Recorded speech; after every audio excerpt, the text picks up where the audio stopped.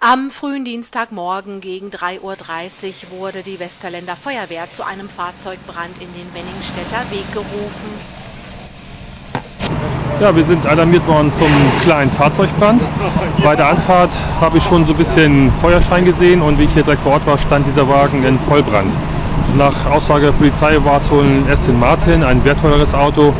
Ja, nachdem wir hier waren, Löschangriff angefangen und haben das relativ schnell das Feuer niedergekämpft. Von dem Luxusauto ist nicht mehr viel übrig geblieben. Am Fahrzeug entstand ein Totalschaden. Die Schadenshöhe ist bisher noch nicht ermittelt. Auch die Brandursache steht noch nicht fest. Wie immer in solchen Fällen hat die Kripo Sylt vor Ort die Ermittlungen aufgenommen.